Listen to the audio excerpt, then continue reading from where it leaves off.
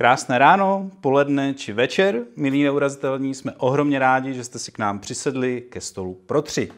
I dnes nás čekají otázky, na které se našeho hosta doufejme ještě nikdo neptal a hlavně otázky, na které chcete znát odpověď právě vy, milí posluchači. O mém dnešním hostu se říká, že to je katány v sukních, přestože většinou nosí kalhoty. Také se o ní říká, že je neúplatná, přestože sama říká, že se jí nikdo nikdy uplatit nepokusil, takže to vlastně není ověřená informace. Ale to všechno samozřejmě říkám s nadsázkou a jsem ohromně rád, že moje dnešní pozvání přijela vrchní státní zástupkyně v Praze, paní doktorka Lenka Bradáčová. Paní doktorko, vítejte u stolu pro tři. Já děkuji za pozvání a přeji pěkný den. Pojďme se vydat na cestu, paní doktorko. Já u vás vím, že než jste šla na práva, tak jste byla plně přesvědčená, že budete učit historii a český jazyk. Což je mimochodem taková veselá představa, když si představím, jak učíte o době bronzové a máte ten pohled, který známe z otázek Václava Moravce, tak já bych teda dějepisu měl hodně dobře. Ale pojďme si na chvíli zahrát na alternativní realitu známkování. Eh, jakou známku by od vás dostala česká spravedlnost? Jako ve škole. To není tak jednoduché, protože i ve škole máme více předmětů. A um, za asi by se známkovala rychlost, známkovala by se mediální prezentace, eh, známkovala by se kvalita rozhodnutí a uh, myslím, že zasloužilo by také oznámkovat uh, srozumitelnost. A uh, co do rychlosti, mm, trojka. Mm-hmm. To i odpovídá tak eh, různým průzkumům a i statistickým datům.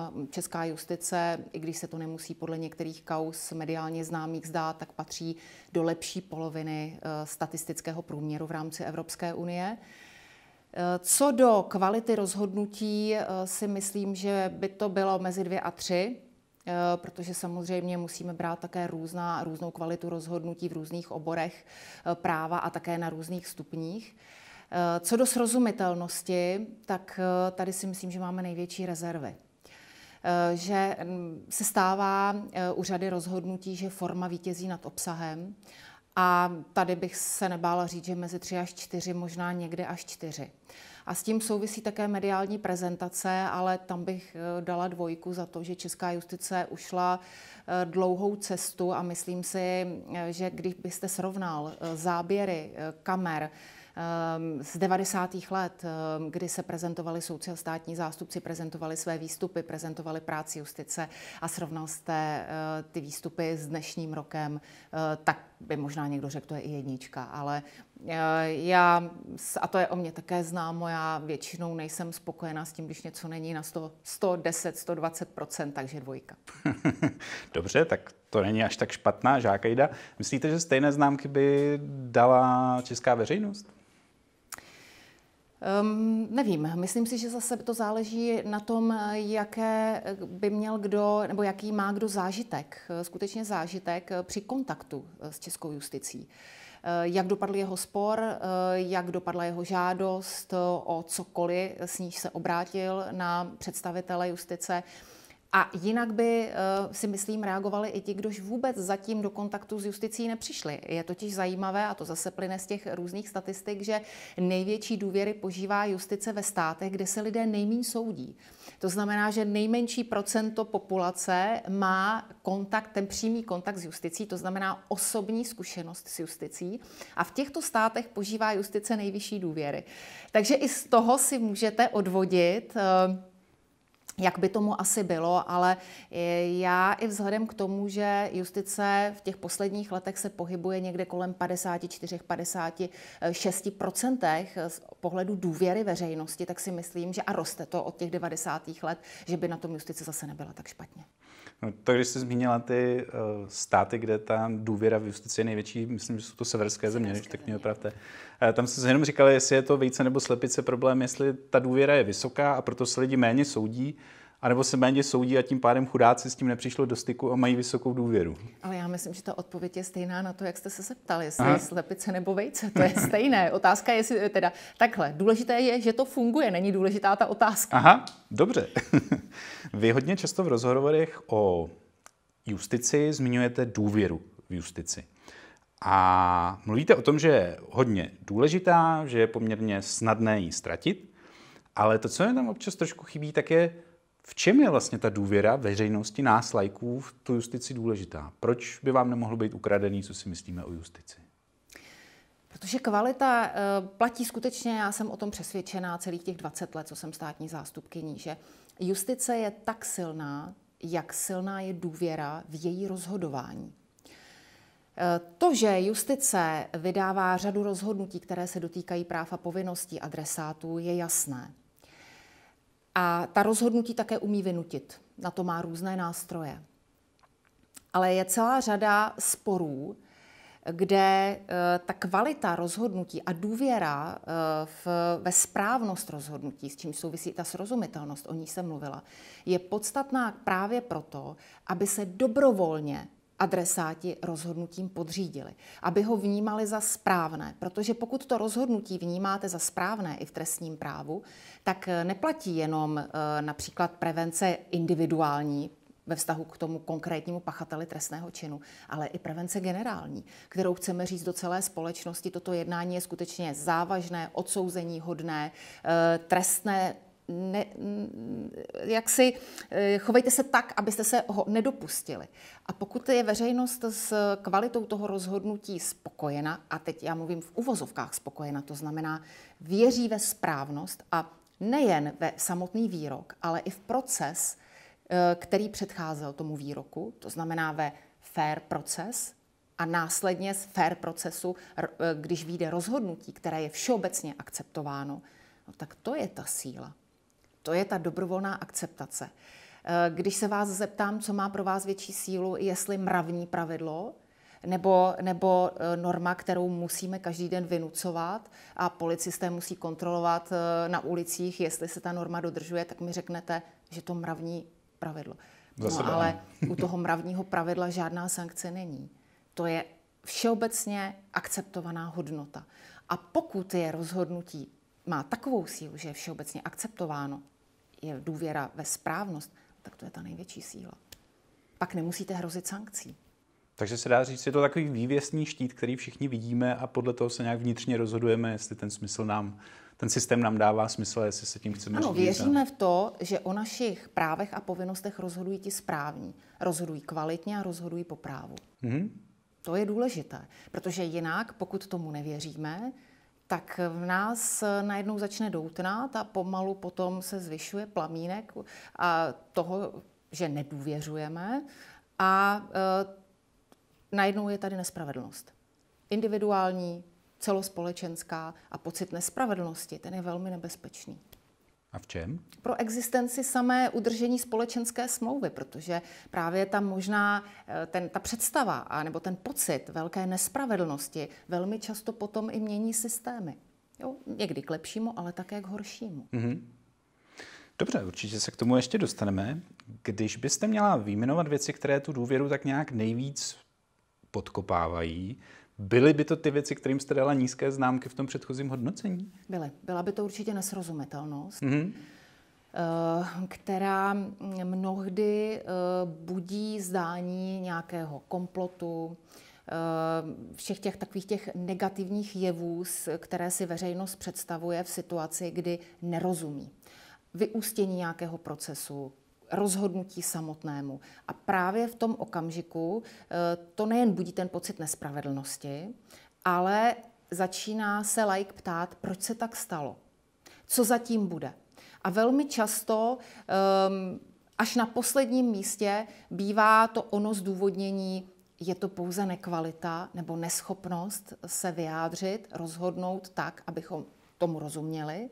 A velmi často tomu předchází různé jiné e, negativní mm, jaksi zdůvodnění toho postupu od různých korupcí. E, proto já si vždycky hodně jako mm, jsem taková rozčilená, když se začne mluvit zjednodušeně, to se zametlo pod koberec. Mm-hmm. Jo? A to je taková věta, která je velmi používána a je zažitá tady. E, jakmile je nesrozumitelné rozhodnutí, jakmile je excesivní rozhodnutí, tak povětšinou e, přichází na řadu, anebo je celospolečensky odmítnuté rozhodnutí, tak přichází na řadu věta, tak se to chce zamést pod koberec, tak se to zametlo pod koberec. Mm-hmm.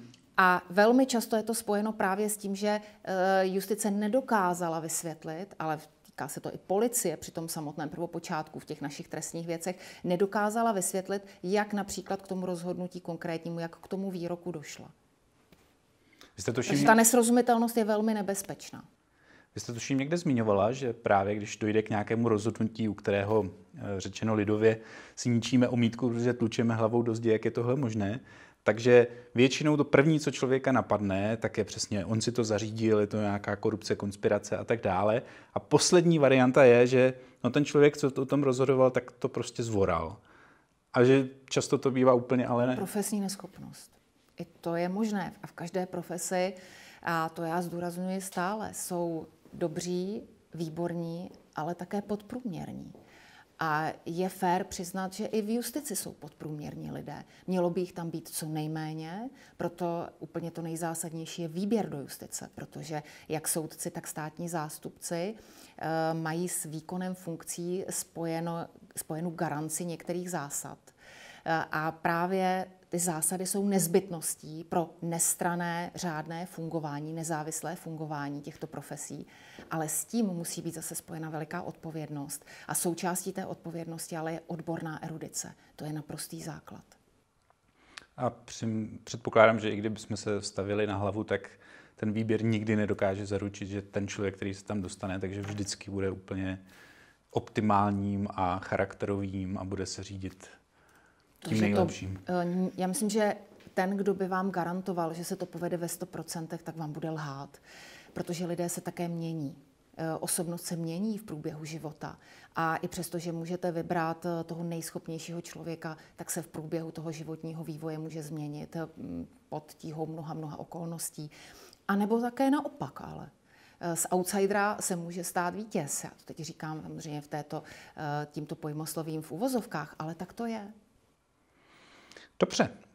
Jedna z dalších věcí, které jste na začátku známkovala, tak je ta délka. Je pravda, že jsme v té lepší polovině, co se týče srovnání států s tou délkou. Máme tedy my jako lidé, kteří do toho nevidíme, naivní a ček, naivní očekávání v tom smyslu, že od justice čekáme, že tyhle věci bude řešit briskně a v průběhu, řekněme, měsíců, maximálně ten jeden rok vám dáme, ale pak už ne. Očekávání, ehm, já myslím, že očekávání není nic špatného mm, ehm, a také mohu říci, že většina, 80% věcí, eh, které se projednávají v trestní justici, je skončeno velmi rychle. Ehm, pohybujeme se eh, skutečně ve lhůtách u těch bagatelních trestních věcí na okrese se pohybujeme například ve lhůtách eh, čtyři měsíce do pěti měsíců i s rozhodnutími. Eh, pohybujeme se potom v těch, těch vyšších stupních ve lhůtách nějakého jednoho roku. No ale potom tak, také máme trestní věci, kde sedm let, deset let, to jsou povětšinou ty mediálně známé věci, které se dotýkají veřejné sféry, které se dotýkají osob veřejně činných, politiků, nebo jsou nějak skutkově či právně složité. I u, známe několik z poslední doby mediálně známých i násilných eh, trestných činů, eh, které vyvolaly celospolečenskou debatu eh, o správnosti těch výroků jednotlivých soudů. Dokonce ty výroky toho, těch nalézacích soudů byly odlišné od těch odvolacích, případně dovolacího. A Tomu tak je, ale je tomu tak všude na světě. Eh, je potřeba si říci, že pokud eh, docházíme procesem, jímž je trestní řád, to je taková ta kuchařka, která vlastně říká státním zástupcům a soudcům, já to teď trošku, ehm, jak si říkám, eh, laicky, ale je to tak, je to ona kuchařka, která nemá být samoučelná, ale má směřovat k tomu, aby soudci a státní zástupci policie postupovali řádně. A tak ta, ten procesní předpis přiznává řadě subjektů různá práva, různá procesní práva. E, to je dobře, moderní státy prostě poskytují subjektům v rámci řízení řadu práv, ale musíme si také říci, že čím více je práv, jež mohou subjekty uplatnit, tak tím je i délka delší. Na druhou stranu, když si položíme otázku, jsme proto zkrácení té doby ochotní vzdát se těch práv a říci, že mm, ta, to, to, současná, to současné pojetí je přes příliš um, a, a chceme rychle všechno skončit a rezignovat uh, na některá práva, která tady, která tady dnes máme. Uh, asi by většina odpověděla, že ne. Že um, tom prostě ta garance je taková, jaká má být.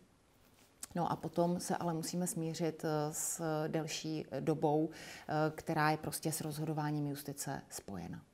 Jste řekl, že právní řád různým osobám garantuje různá práva, aby to nevyznělo, že jako někteří mají tenhle balíček práv a ti, kteří tak, jako, tak mají jenom takový Ne, to je podle procesních subjektů. Hmm? Práva eh, to se netýká toho, kdo, kdo um, um, v tom sporu vystupuje, ať už je civilní, anebo eh, v rámci trestního řízení na jedné či na druhé straně, eh, ale týká se to procesních subjektů eh, v té obecné podobě. To znamená, máme tady v trestním procesu jenom obviněného, nejdřív ještě podezřelého, potom obviněného, máme poškozeného, máme zúčastněnou osobu, to jsou osoby, jejichž majetku se dotýká to řízení a mohou uplatňovat různá práva. Teď máme trestní řízení proti právnickým osobám, tam najednou vystupuje vedle obhájce ještě zmoc zmocněnec. Takže e, je spousta, máme zranitelné, zvlášť zranitelné oběti, které mají ještě speciální kategorii práv, kterou mohou uplatňovat. Takže ta kategorizace těch práv různých, různé síly, různé tedy intenzity a e, různého uplatnění e, v tom trestním řízení, a teď mluvím jenom o trestním řízení, v civilním je to obdobné, tak eh, ta se vyvinula za tu mnoho, mnoho let, kdy se eh, vyvíjely i procesní předpisy eh, toho evropského střihu. Před sto lety představte si, že by někdo si nechával vlastní věc přeskoumávat u mezinárodní instituce, jimž je Evropský soud pro lidská práva, kdyby využil tři, dvě opravné instance po rozhodnutí soudu a pak ještě mezinárodní instanci. Takže tady vidíme, že a, a může se to zvrátit, to rozhodnutí. Prostě na jedné straně, ano, proces je složitý, na druhé straně to ale znamená garanci práv. Na stranu druhou, u některých velmi specifických kaus, já tady zmíním třeba soudce Berku, tak jste říkala, že u takového typu spravedlnosti už musíme trošku přemýšlet nad tím, jestli to skutečně spravedlnost je. Mohla byste to trošku rozvést? Trest eh, platí, že by měl být přiměřený a že by měl přijít eh, v nějaké době, eh, kdy jak veřejnost, to znamená z pohledu generální prevence, tak i ti obvinění z pohledu té individuální prevence, je považují za za prvé přiměřený a spravedlivý právě v tom smyslu, že opožděné trestání a v tomto případě to byla skutečně um, délka, kterou já považuji za výjimečnou, i v této věci za výjimečnou. A potom se skutečně musíme ptát, jestli ještě je mezi tím rovnítko, jestli ten trest, který přichází po takové době, spravedlivý je právě z tohoto pohledu. Mm-hmm. A um, On se, on se to také ale odrazilo v délce trestů i v této trestní věci, kde eh, jednotlivé soudní instance snižovaly tu původně uloženou délku trestu. Ale tady je potřeba říci, že tady ještě mm, sehrály v této věci eh, důležitou roli okolnosti, které byly zcela výjimečné. Eh, měnili se soudci z důvodu zdravotního stavu. Ehm, přišla amnestie prezidenta republiky, která se dotkla této věci, eh, kdy justice respektive soudy tady rozhodly nesprávně a my jsme to rozhodnutí zvrátili až u nejvyššího soudu a vracela se celá ta věc zpátky. Takže tady to byla ještě skutečně souhra mnoha faktorů, které obvykle um, se v jedné věci nenakumulují. Tady k mhm. tomu došlo. Je pravda, že tohle byla velmi specifická věc, ale když bychom vzali i ty kauzy, které trvají, já nevím, několik let, zase řeknu příklad třeba kauza s doktorem Rátem, dalo by se pro nás lajky to tak nějak, řekněme, rozpitvat eh, na jednotlivé fáze, která zabrala kolik času? To já vím docela přesně, um, protože jsem u té kauzy byla od počátku a zatímco tady um, vyšetřování té věci trvalo cirka půl roku se sepsáním obžaloby tři čtvrtě roku.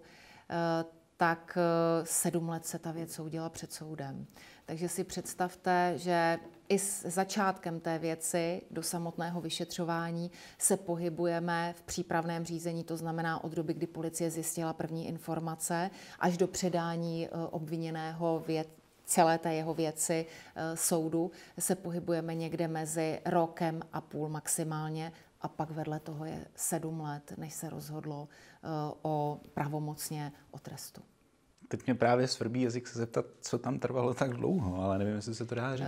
Uh, to by bylo potřeba se zeptat soudců, kteří Aha. v té věci rozhodovali, nikoli už potom státního zástupce, který je stranou ve věci, ale ta obhajoba byla také výjimečná. Je potřeba říci, že uh, tady v té věci uh, obvinění, především jeden z nich, zvolil zcela specifický způsob obhajoby a mm, i proto, že mm, skutečně jako zdatný veřejné mediální prezentaci, eh, tak eh, využívali těchto těch schopností eh, maximálně. A myslím si, že i nalézací soud nepodlehl tomuto tlaku, to znamená nalézací soud je ten, který rozhodoval v, v tom prvním stupni a snažil se si dodržet do posledního detailu eh, všechny předpisy eh, pro to, aby eh, obstála ta věc při následných přeskumech. No a potom přišlo ale to rozhodnutí, které já považuji za excesivní vrchního soudu v Praze, které se zcela vymykalo dosavadní rozhodovací praxi a které označilo výstupy ze sledování a odposlechu za nepoužitelné ve věci. Podařilo se nám zvrátit v podstatě to rozhodnutí až u nejvyššího soudu. A oba tyto kroky protáhly celou tu věc, kdy se zase to řízení muselo vrátit eh, na ten první stupeň, znovu na druhý. Takže si myslím, že i to rozhodnutí vrchního soudu v Praze, kterému já dodnes nerozumím eh, a myslím, že mu asi už ve své praxi neporozumím, tak si myslím, že to protáhlo velmi zásadně. To jste narazila na to, že v tomhle případě ta obhajoba byla svým způsobem vedena mediálně, což asi není jediný případ. Dá se, je to nějaký trend, že se ta obhajoba přesouvá do mediální sféry takhle částečně? A co si pod tím můžeme představit? Tak trend. Ehm, spousta lidí žije dnes eh, v, pro, inter, v prostoru internetu, ve veřejném prostoru, dobrovolně eh, přesouvá své soukromí do veřejného prostoru. Eh, a internet vlastně umožňuje komukoli eh, být novinářem v uvozovkách a prezentovat cokoliv. Eh, a je potřeba ale říci, že tahle ta představa možnosti prezentovat kdykoliv cokoliv má své limity, protože právě potom se stává, protože v okamžiku, kdy ty limity nerespektujeme, tak se internet eh, stává prostorem, kde jsou i výroky, které do slušné eh, lidské společnosti nepatří a nepatří ani do prostoru internetu. A mnoho z těch výroků potom naplňuje i znaky trestného činu a eh, policie a státní zástupci jsou povinni je postihovat. Vždycky se bude řešit v tomto prostoru při veřejné prezentaci dilema mezi svobodou slova a zprávy, um, jako je právo na ochranu bezpečnosti, um, veřejného pořádku, práv jiných osob. Tam vždycky ta proporcionalita u těchto uh, výroků, které v prostoru internetu budou, ať už jsou dnes nebo budou do budoucna prezentovány, tak se bude řešit. O to jsou ty věci těžší. Ale to je jenom na vysvětlení toho, jestli je to trend nové komunikační prostředky umožňují, um, vlastně, já nechci říkat úplně mediální obhajobu, protože obhajoba je jasně nastavena, ta probíhá v řízení přípravném, v řízení před soudem, má svá pravidla, ale veřejnou prezentaci vlastního příběhu. Mm-hmm. A tu využívají eh, povětšinou veřejně známé osoby, eh, které se dostanou před soud a můžete si všimnout i v civilních sporech tomu tak bývá, že u osob, které jsou zvyklé používat eh, ty veřejné komunikační prostředky, tak ehm, se dozvídáme mnoho i u, o rozvodových sporech, výživném různých osob. Jo, takže to, to není jenom doménou trestního procesu, ale ten příběh u takovýchto osob bývá většinou prezentován i mediálně. A pak jsou dotazovány i orgány činné v trestním řízení, což je policie, státní zástupce, soud. A ta představa mnohdy laická je taková, že bychom mohli sehrát své role v tomto prostoru ještě dříve, než je sehrajeme v řízení před soudem. A tomu tak být nemůže. Takže státní zástupci nemohou reagovat na tyto mediálně prezentované příběhy. Mohou se korektně vyjadřovat mm-hmm. v rámci trestního řádu, to znamená v té minimalistické podobě, ale nemohou předkládat veřejnosti v přípravném řízení cestou veřejných sdělovacích prostředků nebo takovéto veřejné prezentace důkazy a začít si je vyvracet a komunikovat s obviněným touto formou. Že byste dala na Facebook jako protipříběh k tomu příběhu. I když samozřejmě jsme si vědomi toho, že eh, čím je ta jedna prezentace, ten příběh z jedné strany věrohodnější, tak to znesnadňuje potom ten, eh, tu kvalitu toho obrazu justice, protože hmm. samozřejmě řada, um, řada těch, kdo, až, ať už posluchačů nebo čtenářů, eh, si může o tom příběhu udělat celkový obrázek jenom na základě toho jednoho příběhu, té jedné strany mince. Tu druhou vlastně vůbec neví. Tu se vůbec nedozví. Hmm tak to je nelehká situace, jako by už to samo o sobě nebylo dost složité. Vy občas, po, chtěla jsi něco říct? Ne, ne, tak nadechla? Ne, ne, Dobrý? Ne. Pohodě, abych vám neskákal do řeči.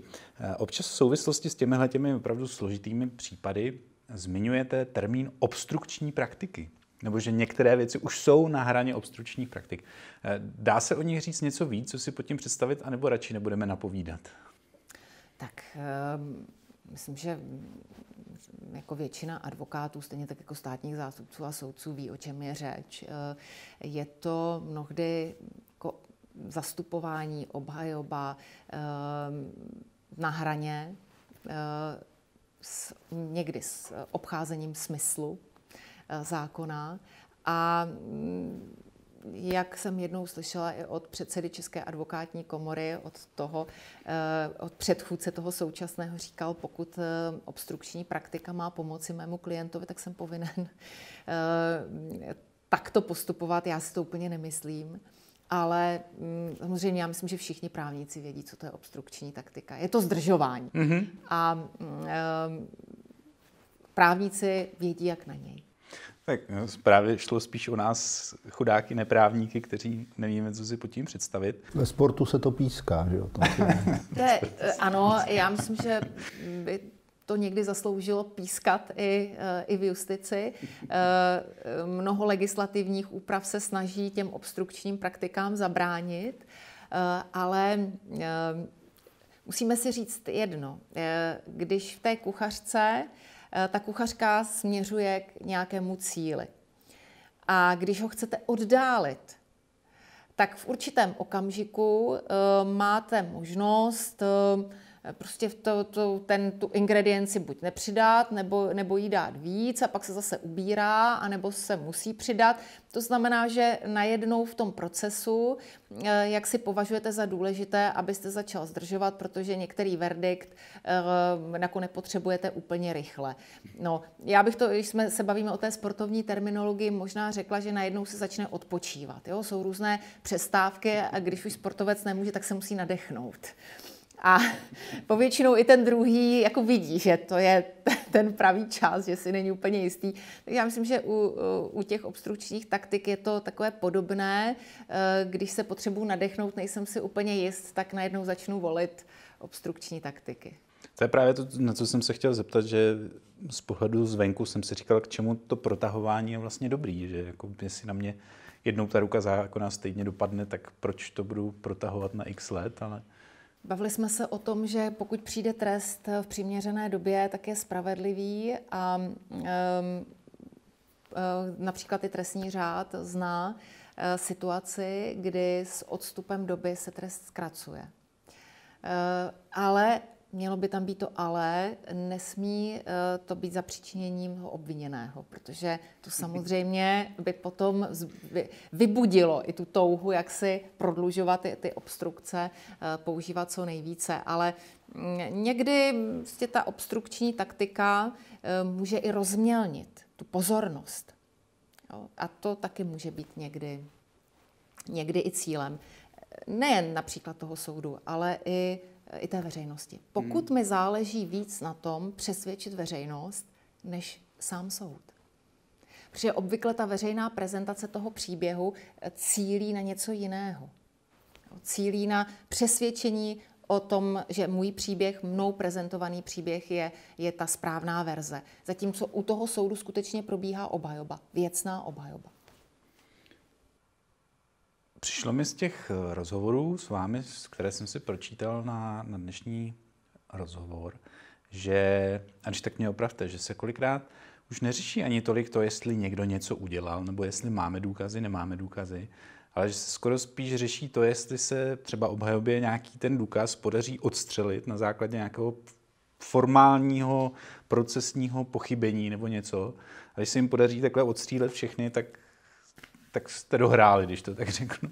Tak to Sportovní je. analogie. Eh, a ono to souvisí také ale s kvalitou těch důkazů, ale především s jejich formou. Ehm, já teď možná trošku zaběhnu do odborná, ale eh, to pokusím vysvětlit. Důkazní prostředky, to znamená prostředky, které používáme k tomu, abychom zajistili nějaké důkazy, jakožto informace, eh, jsou různého druhu a používají se také podle toho, eh, o jaký detrestný čin, ehm, také podle toho, jak, jaké nástroje používá ta druhá strana. A někdy, když se jedná velmi často sofistikované věci, organizovaný zločin, eh, korupční trestné činy, tak eh, musíte využívat eh, operativně pátrací prostředky, to znamená takové ty skryté formy vyšetřování, prověřování a musíte se dostat takzvaně do děje. Musíte být přitom, když dochází k páchání trestného činu a mluvíme o takzvaných proaktivních prostředcích. Ta prostě policie proaktivně prostředí pátrá. Zatímco um, u trestných činů, kdy reagujeme na trestný čin, um, tak se, jsou to jiné prostředky než uh, ty proaktivní. No a když už se podaří policie získat autentickou nahrávku hlasu, obrazu, tak té obhajobě často nezbývá nic jiného, než jak ten důkaz vyvrátit, než spochybnit jeho formu. Protože když se vidíte a slyšíte na nahrávce, tak se velmi těžko rozporuje ten stav tak pak máte jedinou možnost a to spochybnit formu, tak abyste se toho důkazu zbavil. Když máte před sebou svědka, ten svědek ehm, podává svědeckou výpověď, no tak eh, můžete eh, ten důkaz rozporovat tak, že svědek si nepamatuje, eh, má rozpory ve své výpovědi, je starý nebo zase mladý, nemá zachovánu paměťovou stopu. Máte řadu jiných možností, ale když se vidíte a slyšíte, u korupčních trestných činů, jak přebíráte úplatky, jak je někomu dáváte, tak vám nezbývá nic jiného, než spochybnit formu. Jo, takže ke stylu e, obstarávání důkazů tomu také odpovídá styl obhajoby. Teď mi jenom nedá se nezeptat na takovou osobní úchylku, ale kolikrát jste se za svoji kariéru setkala s tím, že by někdo jak se říká, přiznal barvu, tak dobrý, jako zkusil jsem to, neprošlo mi to, tak, tak se pojďme bavit o tom, kolik vyfasuju. A kolikrát jste se setkala s tím, že právě se hraje o každou píť, o každý centimetr a... Tak záleží to, na jakém stupni eh, státního zastupitelství a soudu působíte. Když jsem byla na tom nejnižším stupni, na okresním státním zastupitelství, tak to nebylo nic výjimečného, naopak. Eh, čím více stoupám, nebo jsem stoupala, eh, protože na vyšších stupních se řeší ty závažnější, typově závažnější trestné činy, které samozřejmě jsou spojeny s vyšší trestní sazbou, s tresty, které jsou citelné a citelně potom ovlivní život eh, odsouzené osoby. A tam je to spíše výjimečné. Takže u hospodářské, eh, u trestných činů hospodářské, korupční povahy se s tím potkávám výjimečně. Mm-hmm. To, co mě trošku překvapilo, je právě, když se budeme bavit o tom, že ta délka soudního řízení nějakým způsobem ovlivňuje důvěru a to, jak my si to zpracováváme jako veřejnost, tak je často to, co se rozvíjíme z médií, takový uzavřený kruh. Co mě překvapilo je, že když se právě po letech nějaká kauza třeba dořeší a vy chcete vydat tiskovou zprávu, tak už se ty média vůbec nezajímá. Protože to eh, je zpráva pro ně už stará. Jo, protože informujete třeba o tom, co se stalo před sedmi lety, před osmi lety. A to také potřebuje analytický přístup, protože musíte vrátit tomu čtenáři paměť, musíte ho s tou kauzou znovu seznámit, musíte ho seznámit s tou řadou rozhodnutí, která v průběhu toho procesu eh, proběhla. Eh, u některých věcí, ale to jsou skutečně jednotky, ta veřejnost tu věc sleduje. Eh, to byla třeba i trestní věc doktora Ráta.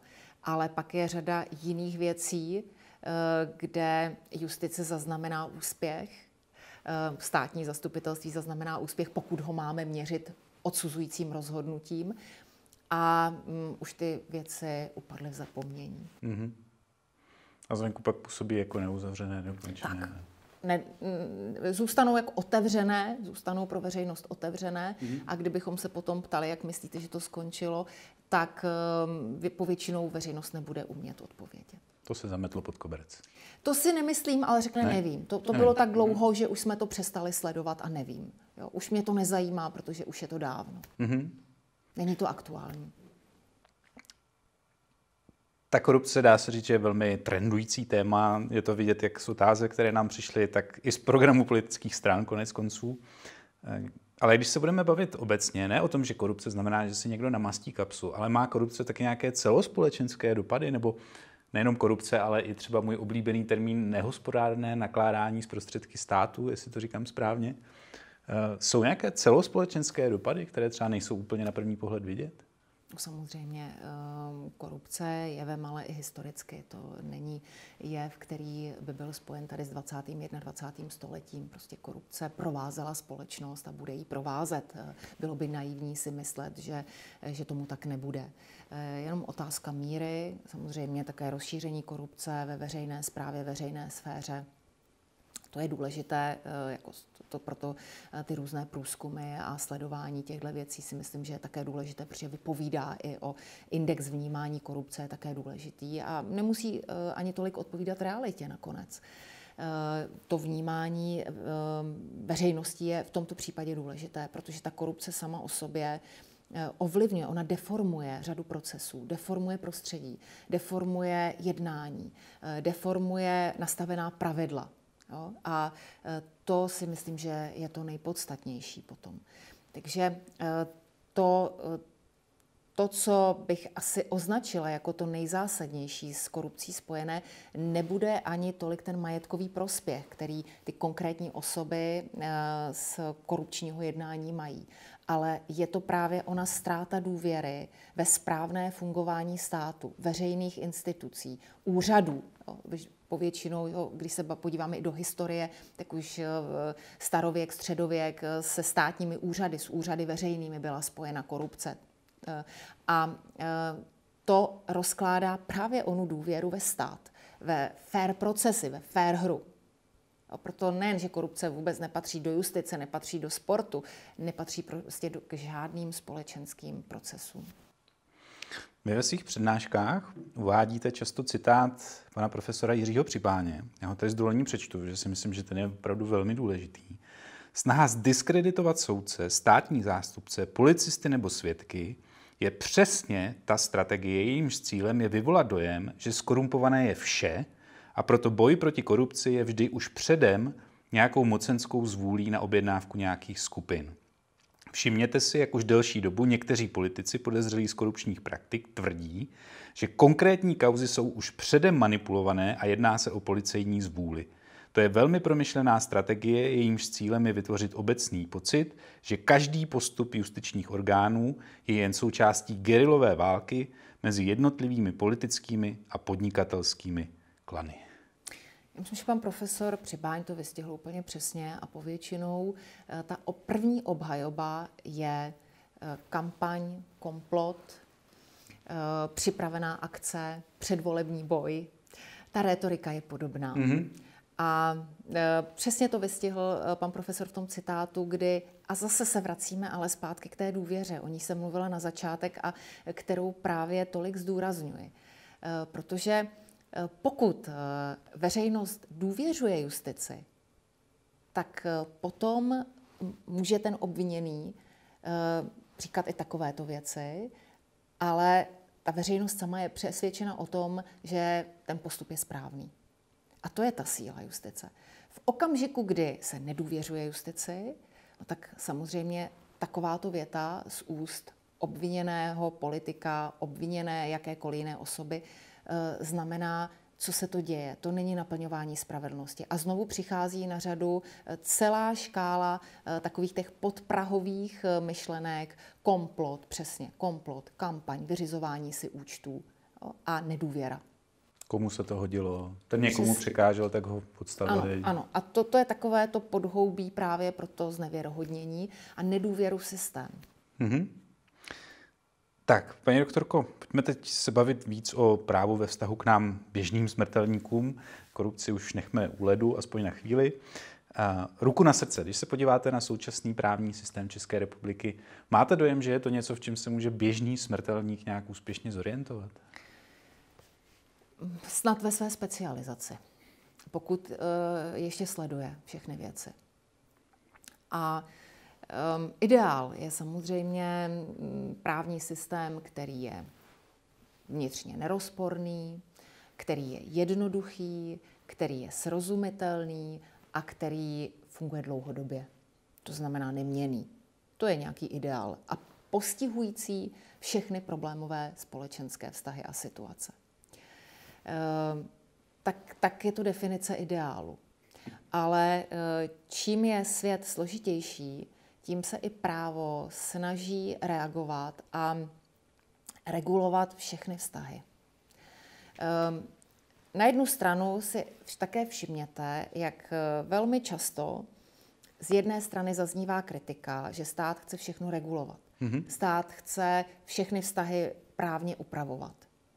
Ehm, když vznikne problém, tak najednou i ti kritici začnou volat, tak to upravme nějakou normou, mm-hmm. upravme to nějakým zákonem.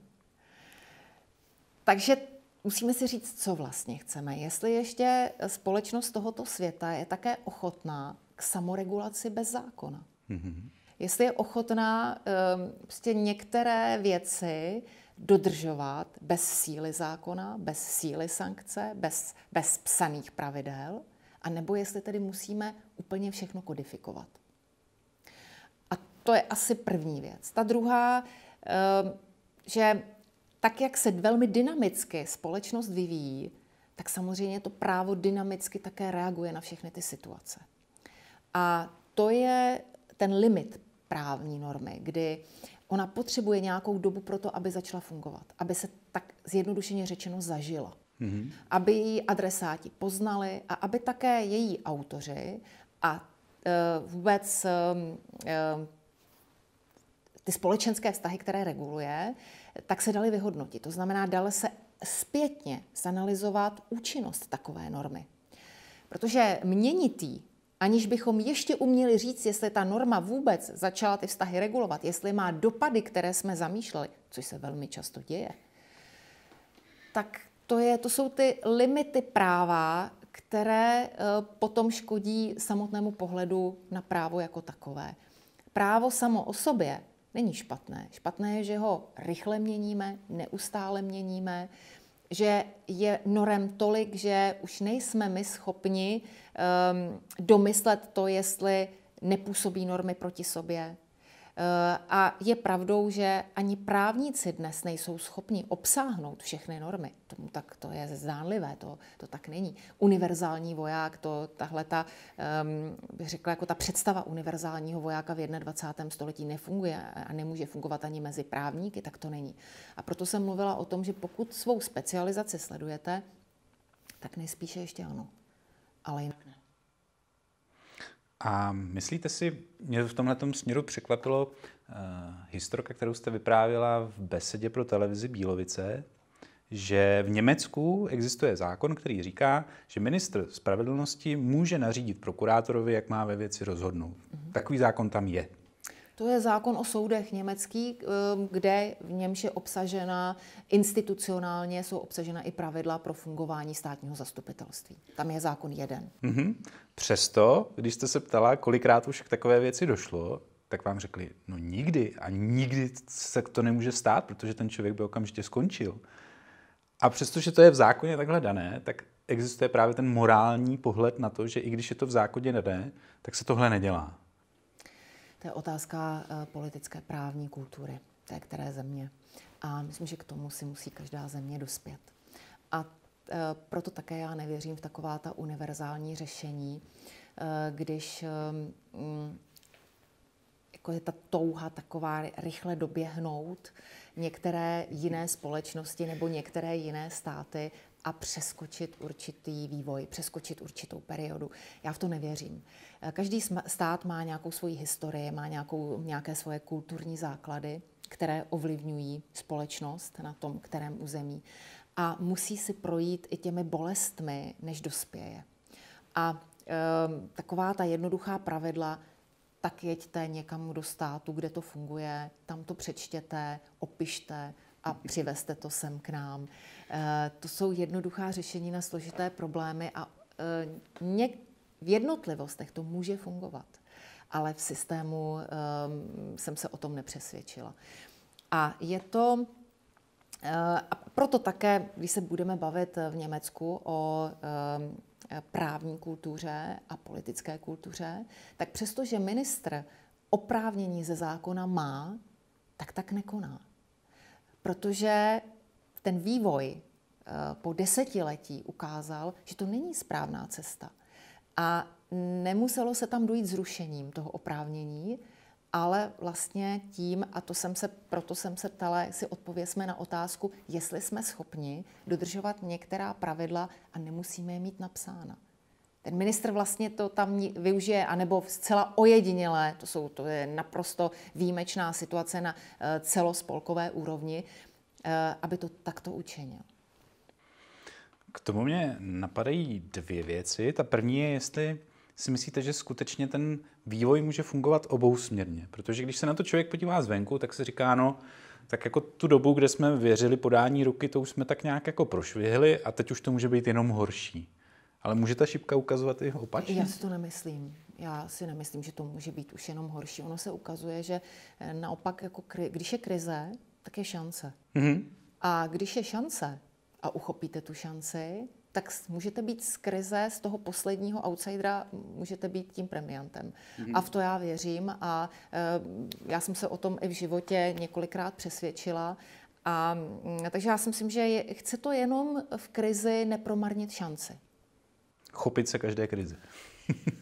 tak krize sebou automaticky nese šance. Mm-hmm. Jo, takže to nechce mít zavřené oči, ale chce to vidět, tu šanci a, a chopit se jí přesně tak. Mm-hmm. A ta druhá věc, která mě k tomu napadá, je, jestli je teda vlastně tak moc důležité, jaké máme zákony, anebo jestli je důležitější, jaké máme lidi, kteří se těmi zákony mají řídit a mají s nimi pracovat. No, jaké máme lidi. uh, ale um, buďme realisté. A uh, když byste se mě zeptal na začátku mé kariéry, a já si to uvědomuji čím dál uh, častěji, Ehm, co je důležitější, jestli kvalita zákona, který upravuje státní zastupitelství jako instituci, anebo lidé, kteří působí uvnitř státního zastupitelství v pozicích státních zástupců, tak na začátku své kariéry bych nejspíš řekla, to je tak 50 na 50. Potřebujete mít pevná pravidla pro ty lidi. A dneska vám řeknu, že 80% jsou lidé a 20% jsou pravidla. A těch 20% eh, je ta ochrana těch dobrých lidí. Jo, takže pokud by to byli všechno schopní dobří lidé, tak potom těch 20% té kvalitní normy znamená, že ty dobré ochrání v systému. Mm-hmm. Toho teda plyne, Ale to je ideál, to je samozřejmě ideál. Z toho teda plyne, že jako ta zákonodárná část je vlastně méně důležitá než pečování o ty lidi. Že? Já si myslím, že eh, ty společnosti, které vsadí bez toho lidského potenciálu na to, že se dá všechno formálně upravit normami, eh, takže to není správná cesta. Že přesně ten lidský potenciál je v tomto směru důležitější. A tím nechci říct, že to vždy vyváží případně nekvalitu té normy, ale uh, správní lidé na svých místech si i s nekvalitní normou poradí a umí aplikovat správně, nebo se ji naučí aplikovat správně. Obráceně to neplatí. Tak říkal Václav Havel, že litera zákona musí vycházet z jeho smyslu a nikoli naopak. Tak to je, to je přesně ono. Tomáš Sláček říká, že k soudu se nechodí pro pravdu a spravedlnost, ale pro výklad práva, že pravda a spravedlnost jsou pojmy filozofické, nikoli právnické. Souhlasíte? Jsou to určitě pojmy filozofické, ale uh, ta filozofie k právu patří a patří i k rozhodování uh, u soudu a um, já si myslím, že ideálem toho rozhodovacího procesu, eh, když budu vycházet eh, z toho citátu, eh, je, pokud se v tom výkladu práva podaří najít spravedlnost, tak, že právě ten výklad práva, to rozhodnutí jako takové za spravedlivé adresáti vnímají. A to je ten ideál. Nevždy se to ale povede. A nevždy je to možné. Aby všichni, kdož odcházejí, vnímali to rozhodnutí jako spravedlivé a celý ten proces jako vyústění spravedlnosti. Což se obávám, že když se dva sousedí soudí o hrušku, tak je vždycky nějak drží tu kratší No ale nemusí to tak být vždycky. Mm-hmm. Te, I když prohrajete spor, tak i v takové situaci ale můžete přijmout, že to rozhodnutí je spravedlivé. Jo, to neznamená, že každý poražený ve sporu Eh, je to jako ve sportu. Také vyhraje jenom jeden ten nejlepší a ti ostatní jsou poraženi, ale otázkou je, jestli byli poraženi ve fair play boji, ve spravedlivém boji. A tak by to mělo být i u soudu. Hmm. A jestli to umí přijmout? Že byli poraženi ve spravedlivém, nebo jestli začnou rozhodčí nás poškodí? Ano, to je, to je otázka jiná, ale je to zase otázka oné důvěry a toho fair procesu. No, protože já si myslím, že to vnímání spravedlnosti v tom moderním pojetí v justici uvnitř je jako nejdůležitější je onen fair proces. Spravedlnost rovná se rovná práva a fair proces. Když říkáte fair proces, eh, já chápu, že to je, že jako to tak nevyzní, nebo že to tak není, ale jenom když jsme se bavili o té složitosti, že běžný člověk se v tom nevyzná, tím pádem potřebuje nějaké odborníky, tím pádem to skoro vypadá, že ten, kdo si prostě může najmout lepší právníky a lepší zastupování, tak má prostě navrh, protože ty jeho právníci budou znát všelijaký ty kličky, obstrukce a tak podobně. Takže tady se ta rovnost trošku ztrácí.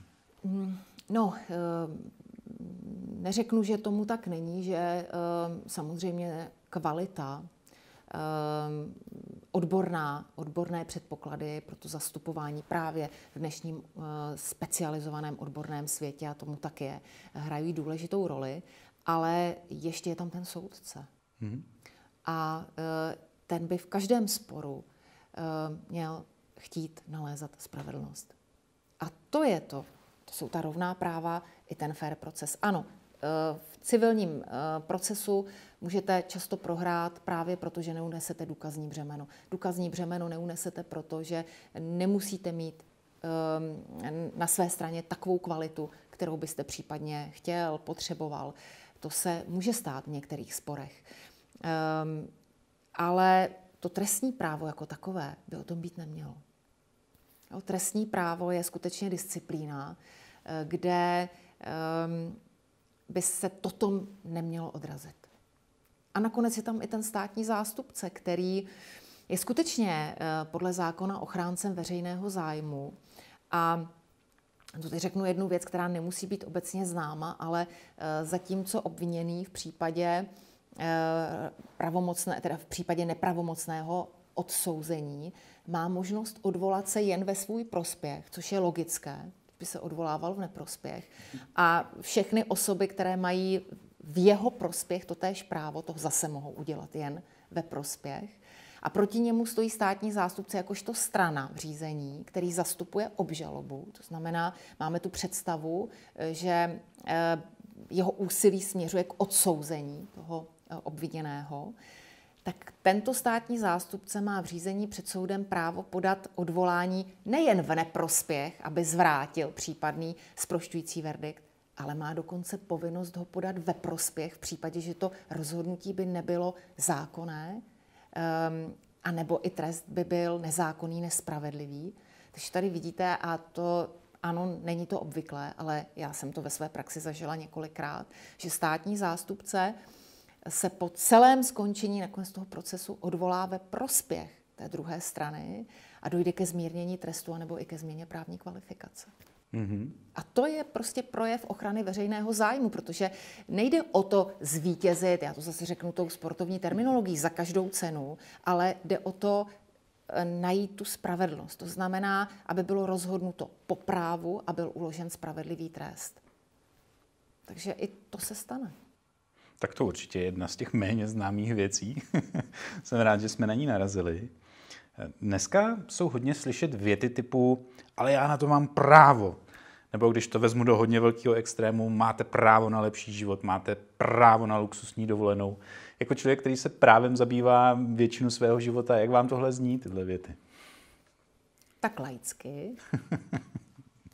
um, také velmi často jako projev eh, blahobytu 21. století, eh, kdy nám pandemie ukázala, že eh, to, co jsme si představovali jako na věky jisté, může být druhý den úplně jiné, že mm, všechny naše jistoty najednou mohou skončit, že náš blahobytný způsob života pro mnoho z nás může být úplně jiný a že to, o čem jsme si včera mysleli, že na to máme takzvaně laicky právo, eh, může být úplně jinak. A že můžeme všechno najednou ztratit. A to si myslím, že je důležité zjištění. Ehm, a že také to, jak jste řekl, mám právo na všechno kolem, eh, takže i tahle pandemická situace by nás měla naučit pokoře. Eh, protože v těchto výrocích já tu pokoru nikdy neslyším. Tak to s vámi souhlasím, to jsme dva. A samozřejmě také uh, odpovědnosti, protože um, stát jsme my. Uh, odpovědnost za své životy, uh, za celou společnost neseme každý sám tím svým dílem, tou svou možností, svými schopnostmi, svou profesí. A práva mohu mít, ale vedle práv mám povinnosti, mám odpovědnost. Takže když chci práva, musím unést odpovědnost. To jste mi vzala trošku z plachet jednu otázku, ale jestli přijde mi, že po revoluci, já jsem tady jako byl špunt tehdy, ale že se tady spousta věcí přepnula do módu, že tak dobrý, tak už to máme hotový a teďka jako se o to nemusíme zajímat a můžeme si řešit ten náš píseček. Ale může justice fungovat bez toho, že bychom si řekli, jo, dobrý, tak to máme vyřešený a oni se tam s tím nějak poperou může fungovat bez nás právě? A nebo i tady platí stát, jsme my? Myslím, že e, nikdy, e, nebo se aspoň ukazuje historicky, že demokratické, právní, liberální státy nemohou fungovat, e, když jsou všichni lhostejní. Oni fungují právě na tom, že lidé nejsou lhostejní, že se starají o věci veřejné, že se starají nejen o své soukromé věci, ale také o veřejné věci. A když se o ně přestanou starat, tak začne ten systém chřadnout, protože on je na tom postaven. Takže nikdy není hotovo. Nikdy nemůže být hotovo. Pojďme teďka chvilku zase trošku na ten náš český rybníček. Hmm. Je pravda to, nebo z vaší praxe zdá se vám, že využíváme i jiných možností nápravy nějakých konfliktů a sporů, anebo hnedka v první instanci křičíme a já tě zažaluju, já tě dám k soudu a podobně. Já vím, že je to zobecnění, ale hodně jsme se naučili eh, používat ten nejzaší prostředek, aniž bychom použili eh, ty, které by tomu měly logicky předcházet. A je to taky u trestního práva. Trestní právo je ten nejzaší sankční systém, to znamená ten nejpřísněji trestný. A eh, je postaven na tom, že má přicházet v úvahu, trestní sankce má přicházet v úvahu tehdy, když nestačí k potrestání jiné sankční mechanismy. Ehm, z právního práva um, a civilní, civilní urovnání těch záležitostí jako takové. Um, velmi často ale i ve sporech, které jsou ryze civilní, obchodní povahy, přichází jako první trestní oznámení. Mm-hmm. Nechť to za nás vyřeší stát, nechť tě stát potrestá, eh, tím nejpřísnějším, tou nejpřísnější sankcí. Takže jakoby ano, vyloučili jsme ty předchozí sankční mechanismy, mm-hmm. které mnohdy fungují daleko efektivněji a rychleji, protože jsou tak nastaveny. Právě ten nejzaší sankční systém, nejpřísnější, sebou spojuje i tu nejvyšší míru obhajovacích práv, proto je také nejdelší, protože nejcitelněji zasahuje eh, toho, kdo se pro, toho, toho, kdo porušil eh, právo jako takové. A tam je, bych řekla, nejvíc situací, kdy zůstáváme nepochopeni, ať už policie, případně my, když se eh, část veřejnosti domáhá potrestání eh, vztahu, společenského vztahu, který vůbec nemá být korigován trestním právem. Když ta představa sousedských sporů, rodinných sporů je taková, že by měly být řešeny trestním právem. A přitom na řešení té konkrétní situace myslí jiný systém občanského práva, obchodního práva, mm, rodinného práva, eh, který ale bývá jakoby opomenut. A v první řadě mravní systém.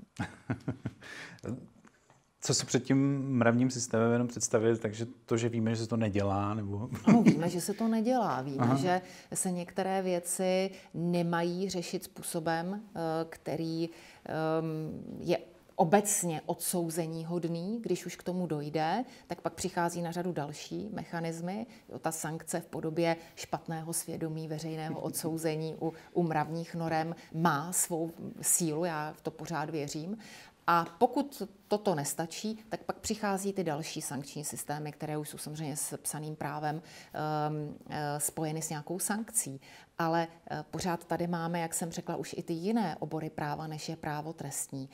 A tam velmi často, eh, pokud odkážeme to, kdo se na nás obrací na to, že musí jít jinou cestou, eh, že jsou tady, hm, že tyto vztahy, na které poukazuje, upravuje eh, jiný druh práva, který nespojuje s sebou okamžitě trest odnětí svobody a, a, a nějaké opravdu drastické sankce, tak tam hm, často jako přichází neporozumění.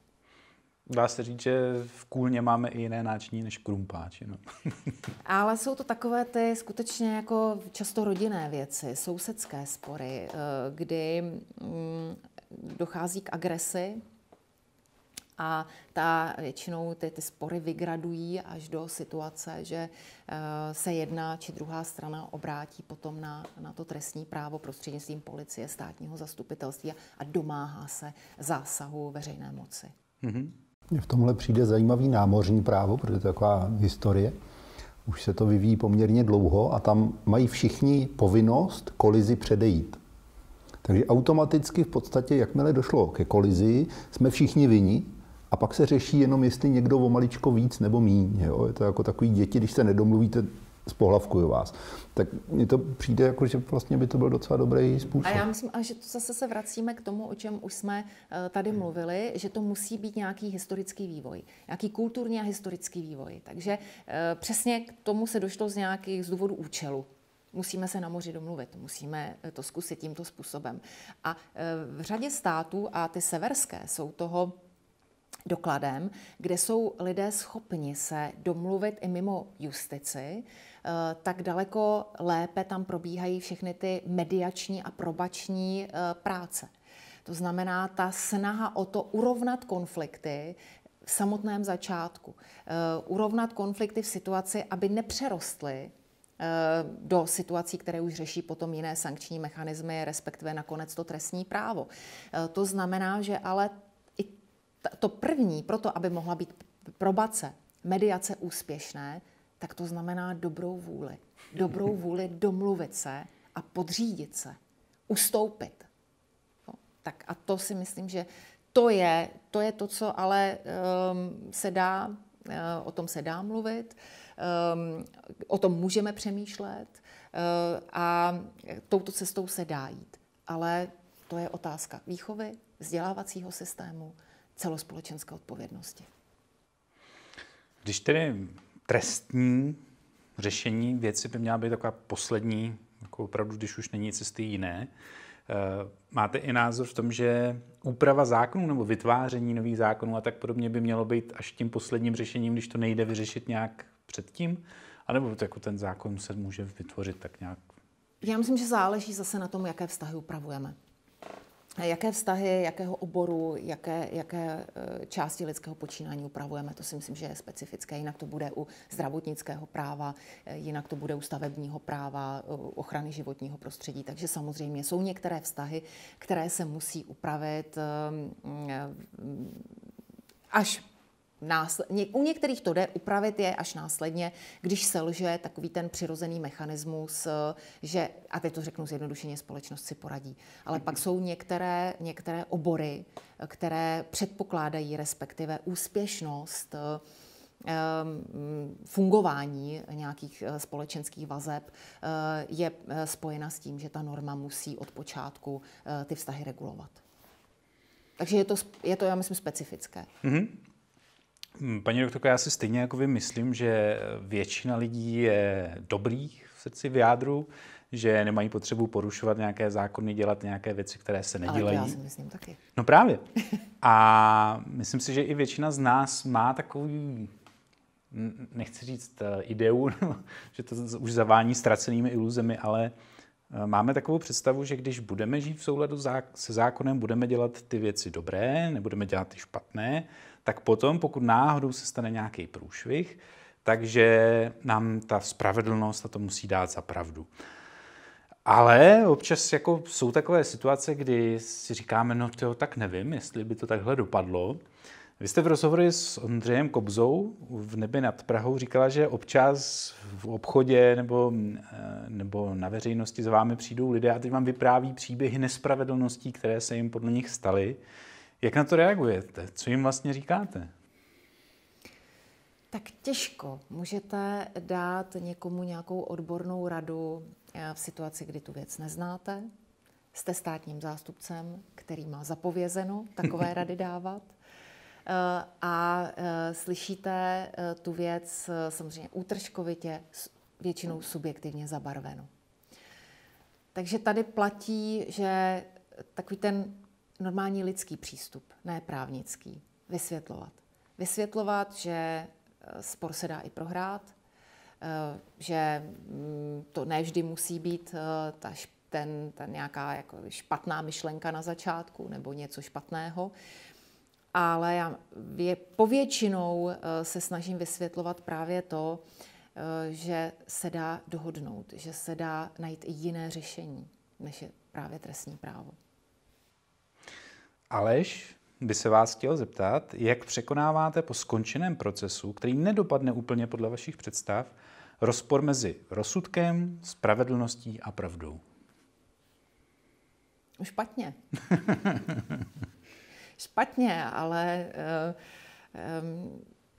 první pravidlo je, eh, nezdáváme se až do úplného konce. To znamená, hledám všechny možné procesní varianty, jak verdikt zvrátit. Někdy jsou, někdy ne.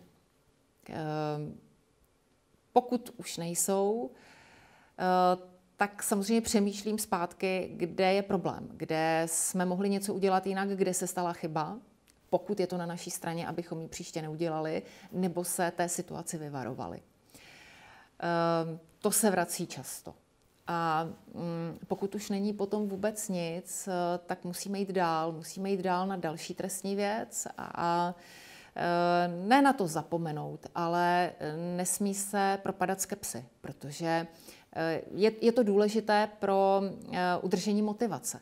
Protože v okamžiku, kdyby hom podlehli absolutní skepsi a řekli si, že už vlastně vůbec nic nemá cenu, tak bychom tu práci dál nemohli dělat. Ano, někdy eh, prohrajeme a víme spoustu dalších informací, které ale neumíme procesně uchopit, neumíme je procesně soudu v té požadované podobě předložit a prohrajeme.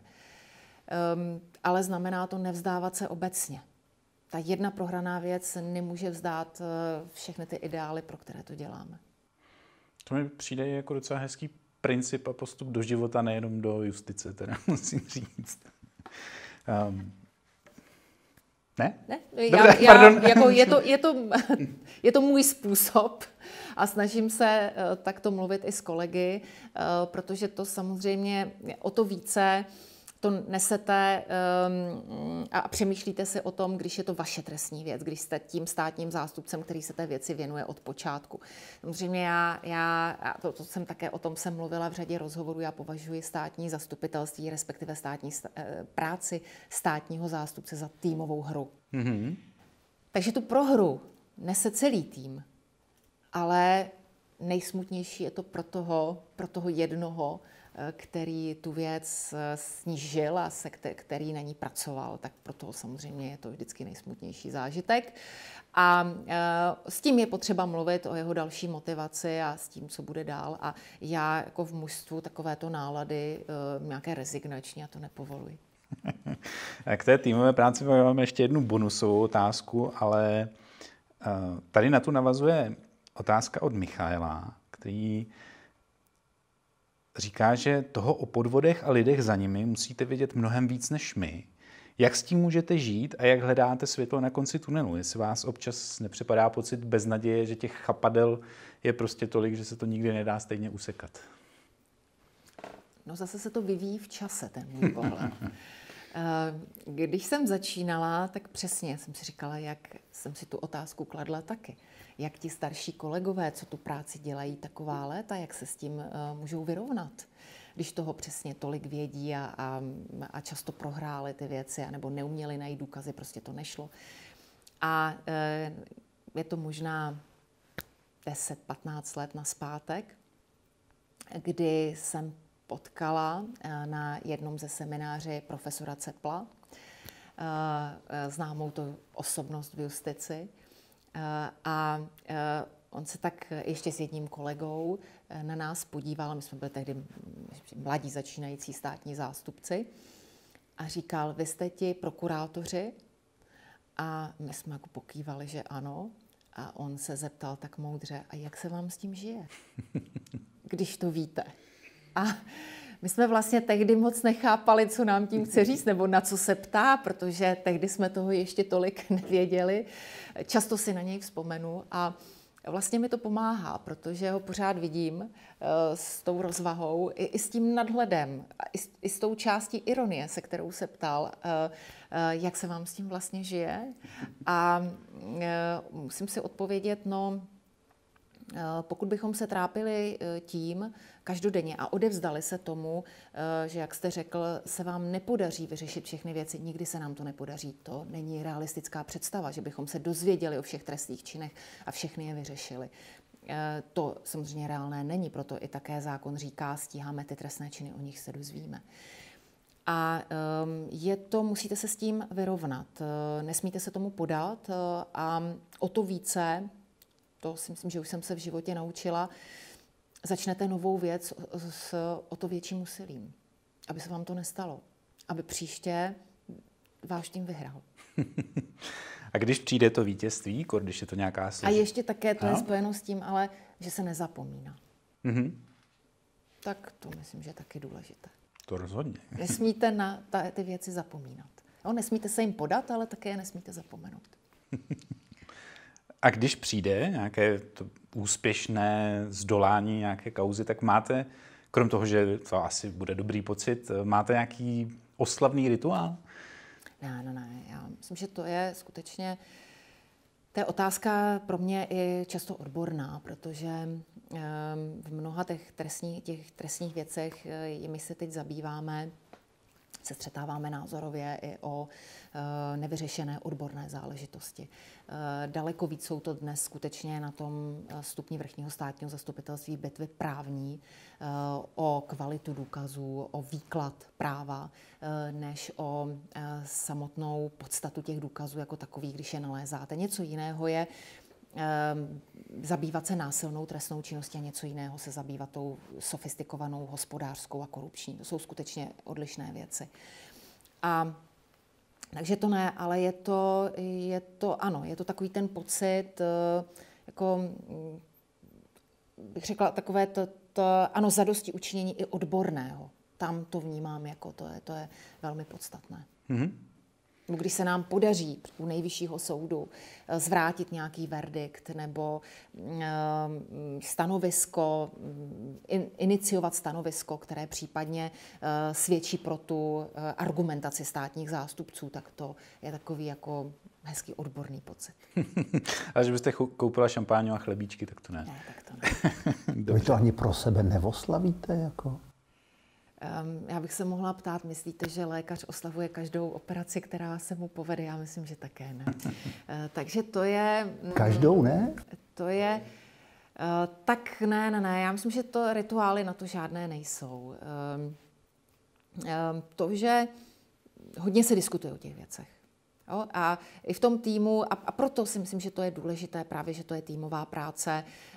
Um, je to pro toho člověka stejně tak, jako nese ten jeden nejvíc smutek, tak také samozřejmě i e, to, že ta kauza se povede, ten dobrý pocit z práce, tak má zase nejintenzivnější ten, jemu se to povedlo, ale odráží se to do celého toho týmu. A to je totiž důležité, protože ta rozdělená radost znamená potom i tu rozdělenou prohru takže ji nemusíte nést úplně sám. Takže to si myslím, že je také důležité.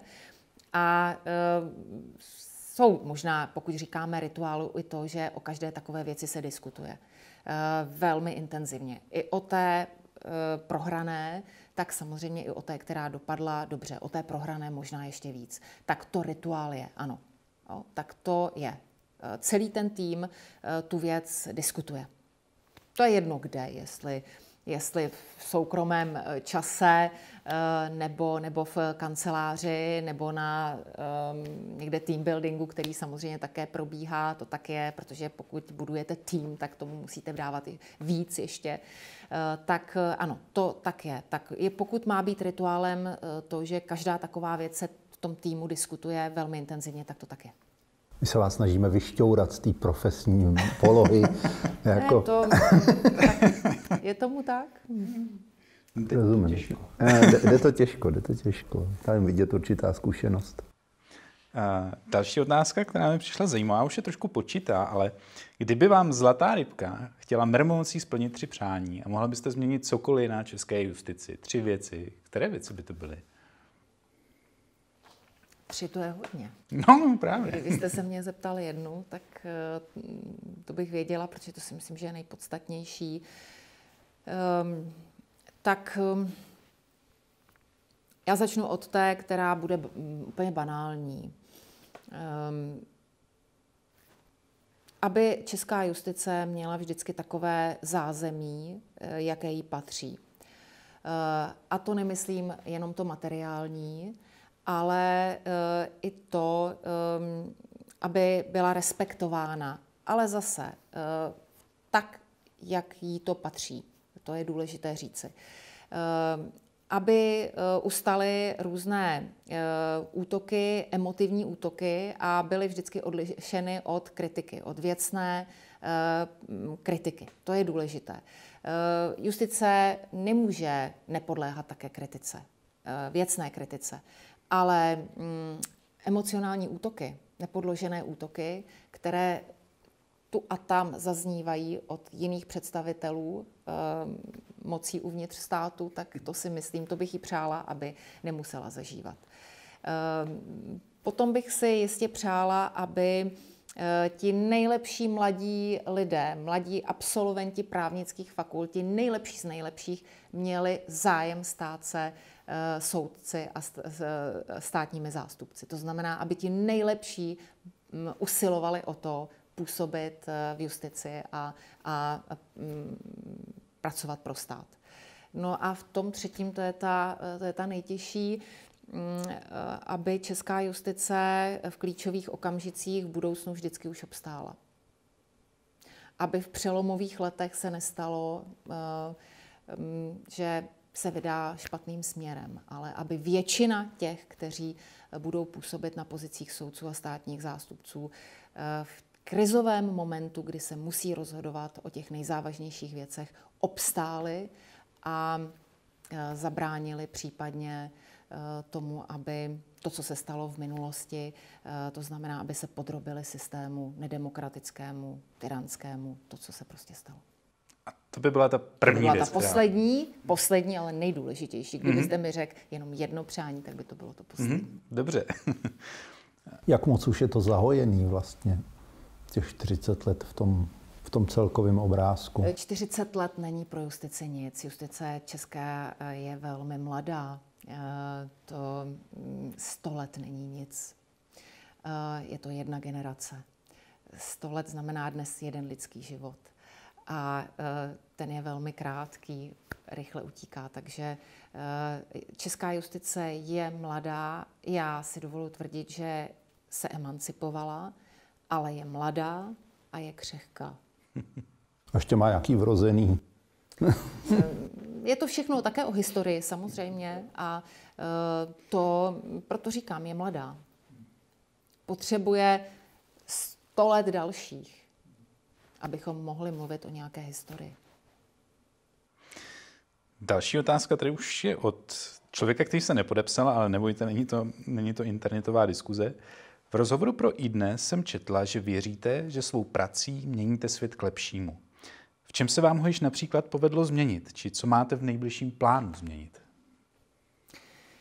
Tak já myslím už jenom to, když eh, přispěji tím svým celým počínáním k tomu, aby česká veřejnost věděla, kdo jsou státní zástupci, eh, že jsou důležití pro tuhle společnost a že mm, se jim také dá věřit v jejich práci. Eh, takže to je počin že státní zastupitelství by mělo být institucí, která je sebevědomá a odpovědná a že by si to měli uvědomit všichni státní zástupci, kteří eh, v ní pracují. To, myslím, je také počin. A e, pokud přispěji konkrétně k rozhodnutím soudů, e, spravedlivým rozhodnutím, tím, že se nám podaří týmu, který řídím, e, stavět před soud ty, kteří tam stát mají a ještě dojdeme k tomu před soudem pravomocnému odsuzujícímu rozsudku, který bude společností vnímán jako spravedlivý a věřím, že řada takových rozsudků už byla, tak si myslím, že budu spokojená. A čím to, že tolik lidí zná Lenku Bradáčovou, ale myslím, že ostatní vrchní státní zástupce by byl docela problém jmenovat. Tak já myslím, že um, nejvyšší státní zástupci budou známí. Um, možná můj předchůdce, doktor Rampula, také bude to jméno známé. Uh, a doktor Ištván bude nejspíš, nebo je také jméno známé. A um, pra, nutno dodat, že na Moravě působí historicky jenom jeden vrchní státní zástupce, to je doktor Ištván po celou historii. Takže my jsme zase, eh, jak vám říkám, ta historie není tak dlouhá eh, české justice. Už jenom v to vidíte, že eh, u toho druhého vrchního státního zastupitelství máme stále osobu jednoho vrchního státního zástupce po celou tu dobu. Takže No a mm, já si naráží, nebo vím, na co narážíte. No, já jsem už od počátku toho, kdy jsem přišla na státní zastupitelství, tak eh, jsem se snažila měnit některé zažité věci. A jednou z nich bylo i to, že se muselo změnit myšlení státních zástupců v tom smyslu, eh, že musí své kroky zdůvodňovat. To je to, na co jste se ptal na začátku. Eh, že to, že zákon přímo ukládá povinnost informovat o výsledcích práce státních zástupců, to není samoučelné. To, že státní zástupci ehm, nejen vysvětlují, ale samozřejmě tou svou prezentací, eh, veřejnou prezentací, také ty jednotlivé osobnosti přesvědčují veřejnost o tom, jestli se dá systému věřit nebo nedá. To je důležité, protože povětšinou e, laická veřejnost odvozuje důvěru v instituci od důvěry person, které ji reprezentují. To jsou prostě spojité nádoby a že nestačí eh, pouze mít eh, přívlastek u jména státní zástupce a automaticky jsou naše kroky srozumitelné a máme automaticky autoritu. Eh, to tak není. S tím je spojena i ta prezentace instituce. A mm, tak se snažím celou dobu si počínat, ale věřím, že jako řada kolegů to pochopila, také mluvím o tom srovnání mediální prezentace ehm, před 20 lety a dneska. A ehm, je i řada dalších kolegů, kteří, kteří jdou touhletou cestou a myslím si, že to je eh, prostě možnost pro justici. Pokračování té původní otázky s tím měněním světa k lepšímu. Když se naopak ohlednete za svým životem, pracovním a osobním, je něco, čeho litujete, co vás mrzí, co byste ráda tehdy uměla řešit jinak a lépe? Tak to myslím, že každý rozumný člověk, eh, když se ohlédne zpátky, tak uh, tam má takové věci, které by řešil jinak, které ho zamrzely um, a vyřešil by je jinak s pohledem zkušenějšího, staršího člověka. Uh, ale v tom zase neříkám, že Eh, zkušenost musí automaticky, nebo věk eh, spojený se zkušeností musí automaticky znamenat eh, kvalitnější rozhodování než u mladého člověka, který prostě tou zkušeností mnohdy zatížen není. Takže některá rozhodnutí se činí mnohem snáze, správná rozhodnutí v tom mladším věku, než v tom věku pozdějším, když tu zkušenost už máte. Tak ano, jsou takové okamžiky, ale ty si nechám pro sebe. Samozřejmě, že jsou. Ehm, to je mimochodem i princip mnoha vědeckých objevů, že přišel někdo, kdo nebyl zatížený tím, že to nejde a prostě to udělal. Takže ano, to taková byla moje představa na začátku. Prostě to udělat. Krásné. A Martina by se vás chtěla zeptat, nechám na vás, jestli odpovíte nebo ne. Zda si dokážete představit, že byste při své současné práci měla děti, měla rodinu? Dokážu. Hmm? Dokážu, no. A taková... Vždycky jsem si to uměla představit, ale prostě dokážu. Hmm? A taková související otázka pro vás jako ženu.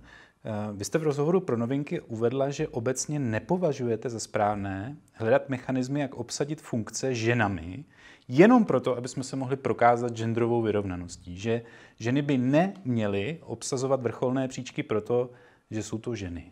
Můžete to trošku víc Um, já si myslím, že podstatné proto, um, aby se žena mohla realizovat um, a nastavili jsme rovné podmínky, je právě přiznat to, že um, základním předpokladem je rovnost. Přístup, rovný přístup k odměňování, k pozicím, Eh, ve veřejné sféře, ve státních institucích, zařízení a garantování rovného přístupu. A pak přichází na řadu volba.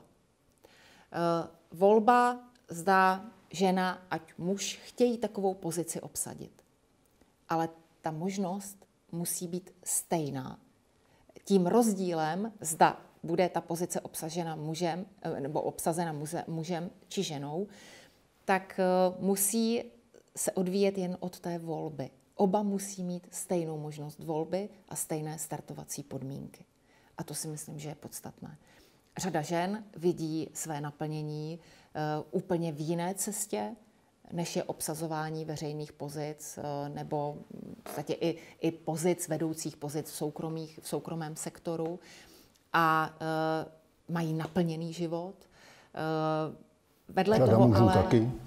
Ano, u mužů je to to samé, samozřejmě, ale teď já chci říct i ty ženy, ale které by rádi, rádi obsadily ty pozice, tak bychom si neměli říct, nemohou protože, protože nemají stejnou výchozí pozici. Protože mají jiné společenské úkoly, jinou společenskou roli, protože se musí starat o rodinu, o děti, protože nemají jiné východisko. Když nastavíme stejné podmínky a řekneme, že nemohou, nebo nejsou ty funkce obsazeny ženami, protože ženy nechtějí, tak já na to vidím za správné. Mm-hmm. Ale pokud je chtějí, tak pak mají mít tu rovnou možnost. A pokud bychom nastavili podmínky, tak, tak když je tady ve vedoucí pozici pět mužů, tak musí tam být pět žen? Ne, to není právě to musí, to je na tom rozhodnutí. To je, to je o tom rozhodnutí. A o rovných podmínkách o rovných podmínkách. To není o tom, já eh, nechci spochybňovat systém kvót, nebo kvóty genderové, ale já nejsem jejich zastáncem. Mm-hmm. Nejsem přesvědčena o, o, o úspěšnosti takových projektů, ale to neznamená, že ty projekty nemohou být úspěšné. Některé státy, v některých státech se ukazuje, že ano. Já toho zastáncem osobně nejsem, ale vedle toho říkám, že um, rovné podmínky jsou nezbytností. Tady ano.